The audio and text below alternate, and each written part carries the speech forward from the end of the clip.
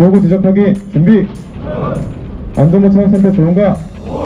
실제로 현장에서는 별로 넘어지는 경우가 많기 때문에 이렇게 엉덩이 밑으로 내려오는 철근 구간에는 반드시 이렇게 철근 캡을 씌워서 현장 관리가 진행되어야 합니다.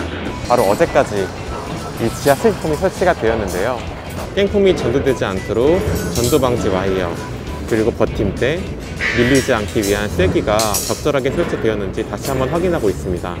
그리고 저희 현대산업개발에서는 이 위험 상황 신문고를 운영하고 있습니다. 각 작업에서 발생할 수 있는 위험 요인을 그 작업에 임하시는 분들이 역으로 보고하는 방식의 대안을 마련한 것이 이 위험 상황 신문고입니다.